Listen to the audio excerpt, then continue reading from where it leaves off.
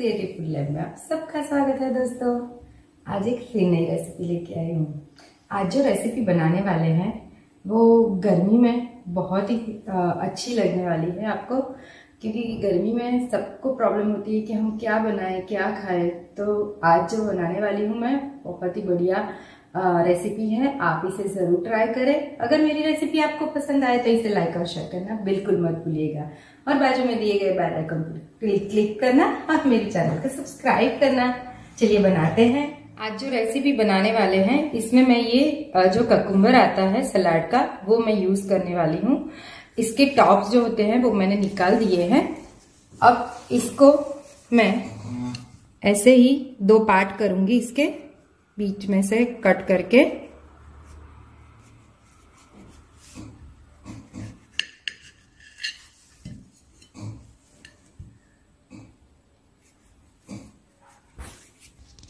ये जो ककुमर हमने कट किया है, इसमें मैं नाइफ से ये जो बीच में ऐसे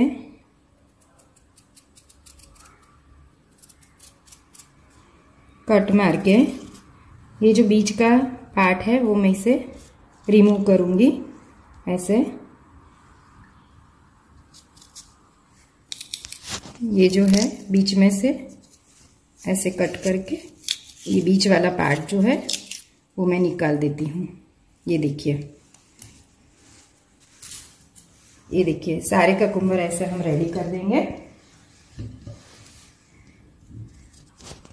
ये देखिए, हमने सारे ककुम्बर बीच में से गल निकाल के इसके रेडी इसे रेडी कर दिया है। अब इसके लिए, इसके अंदर मुझे स्टफिंग भरना है। इस, ये हम स्टफिंग बनाएँगे। इसके लिए मैं यहाँ पे अनियन ले रही हूँ। चॉप किए हुए अनियन है। ये है टमाटर चॉप किए हुए। आपको अगर अनियन नहीं खाना है तो आप इसे अवॉइड भी कर सकते हो। ये यहाँ पे मैंने थ्री कलर्स के बेल पेपर्स लिए हैं। वो मैं डाल रही हूँ यहाँ पे। ये देखिए ग्रीन चिली है। मैंने कट करके रखी है इसे। ये मैं डाल रही हूँ इसके अंदर। ये है कच्चा आम, जिसे मैंने छोटे छोटे क्यूब्स काट लिए हैं। एकदम चॉप किया हुआ है ये।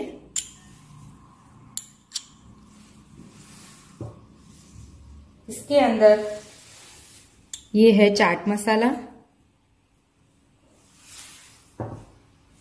हल्का सा इसमें सॉल्ट डालेंगे। ज़्यादा नहीं डालेंगे। टेस्ट करने के बाद अगर सॉल्ट की ज़रूरत पड़ेगी तो हम डालेंगे। इसे ये मिक्स कर लेते हैं हम सारा। इसके अंदर थोड़ा सा कोरिएंडर डालेंगे। और ये है ग्रीन चटनी, जो थोड़ी स्वीट एंड सेवरी है। अगर आपको स्वीट नहीं करनी है तो आप सिर्फ़ सेवरी भी बना सकते हो।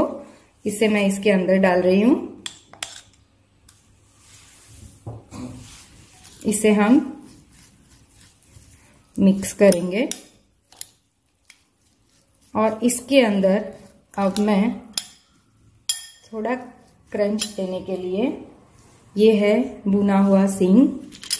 मैं डाल रही हूँ ये सिंग दाना इसके अंदर और इसे अच्छे से हम मिक्स करेंगे और इसे हम, जो हमने ककुम्बर काट के रखा है, हम ये स्टफिंग भरेंगे, ऐसे।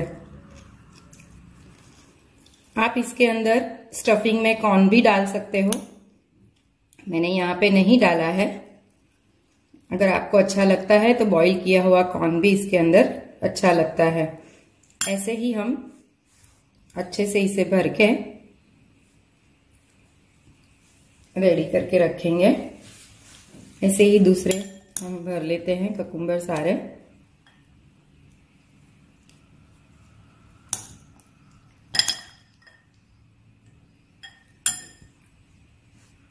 अगर आपको हाथों से भरना है तो भी आप भर सकते हो।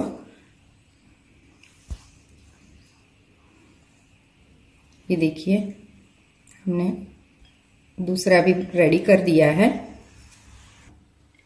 ये देखिए, सारे ककुम्बर हमने भर के रेडी कर दिए हैं। इसके ऊपर मैं थोड़ी सेव डाल रही हूँ।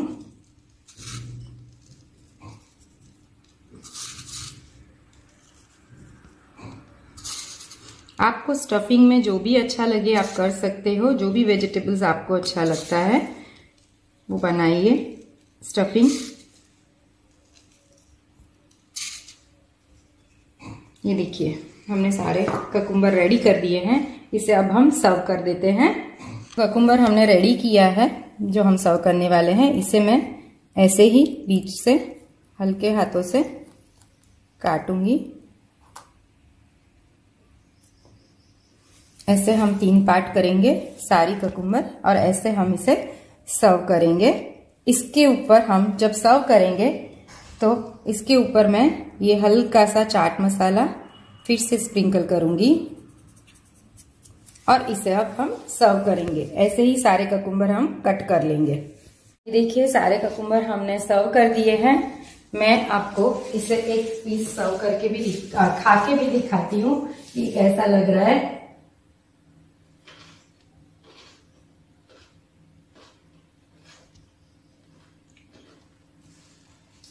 बहुत टेस्टी लग रहा है। आप इसे घर पर ज़रूर ट्राई करें। और आपके अनुभव मेरे साथ ज़रूर शेयर करें। अगर आप इसे घर पे बनाते हो तो फ़ोटो लेके मुझे ज़रूर टैग करें। और पूर्विस क्रिएटिव फ़ूड लैब में ज़रूर आपके कमेंट्स मुझे लिखकर भेजें कि आपको ये रेसिपी कैसी लगी। थैंक यू दोस्तों।